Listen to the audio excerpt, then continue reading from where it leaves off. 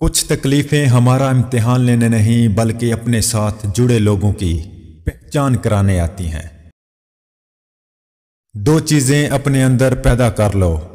चुप रहना और माफ़ करना, क्योंकि चुप रहने से बड़ा कोई जवाब नहीं, और माफ़ कर देने से बड़ा कोई इंतकाम नहीं। बात इल्म से करो, ताकत का सहारा ना लो, क्योंकि ताकत कितनी भी बड़ी क्यों ना हो। इल्म के आगे छोटी हो जाती है। कामयाब लोग अपने फैसलों से दुनिया बदल देते हैं और कमज़ोर लोग दुनिया के डर से अपने फैसले बदल देते हैं। वो बंदा दौलत, इज़्ज़त और सेहत की ख्वाहिश छोड़ दे जो बखील है और हमेशा अपने हक से ज़्यादा का उम्मीदवार है। दौलत का मुस्तक सिर्फ़ सखी इंसान है। जब कोई शख्स खुद अपनी तारीफ़ करे तो उसका वकार खत्म हो जाता है। दूसरों के सहारे ज़िंदगी बसर करना कुरान की रूह से काफरी है। ज़िंदगी का राज यही है कि जहाँ रहो, जिस हाल में रहो, खुश रहो, मुतमिन रहो। आज का इंसान अपनी रोजी की फ़िक्र में रिस्क तलाश कर रहा है। और अपने राजे को भूल बैठा है, जो इसे रिस्क देता है।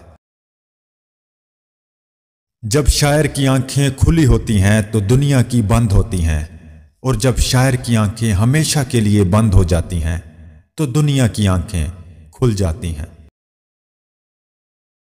गुलामी बहुत बड़ी लानत है। गुलामी ज़ुबान से वो कुछ कहलवा सकती है, जो इंसान नहीं कहना चाहता।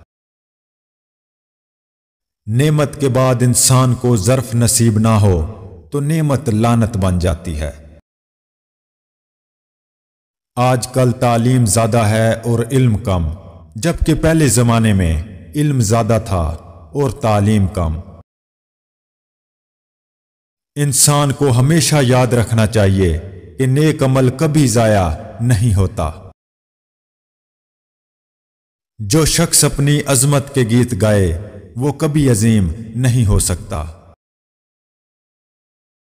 मैं तुम्हें मोमन की निशानी बताता हूँ। जब उसे मौत आती है तो उसके होंठों पर मुस्कुराहट होती है। मोहब्बत करने वाला बंदा खुदा की राह पर चलता है और मोमन और काफर दोनों से मोहब्बत का इजहार करता है। अपनी तारीख को महफूज करें और लाजवाल बने। गुजरे वक्तों से नई ज़िंदगी हासिल करें। मैं सच कहता हूँ, आपका दुश्मन भी आपका दोस्त है। उसकी मौजूदगी आपकी ज़िंदगी को भरपूर और अमीर बनाती है। ज़िंदगी दूसरों से कर्ज नहीं ली जा सकती। इसे खुद अपनी रूह के अंदर रोशन करने की ज़रूरत है। ज़िंदगी मौत की इब्तदा है और मौत ज़िंदगी का आगाज़। हर वो चीज़ जिसके पास ज़िंदगी है, मर जाती है। अगर उसे गैर साजगार माहौल में रहना पड़े। तुम कामयाबी और नाकामी पर नज़र ना करो, बल्कि अपने मकसद तखलीक को पहचानो और जदोजहद किए जाओ। इलम की जस्तजू जिस रंग में भी की जाए, अबादत ही की एक शक्ल है। कतरा समुंदर में मिलकर फना हो जाता है और मैं कतराए रहबर समुंदर बनना चाहता हूँ। दिल एक ऐसी चीज़ है जो अमीर के पहलू में नहीं होता।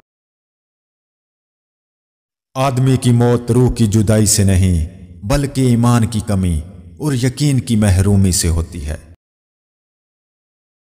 गुनागार की आजजी अबादत गुजार के गरूर से बेहतर है। अगर शायरी का मकसद इंसान बनाना है तो शायरी वारस से नबूबत है।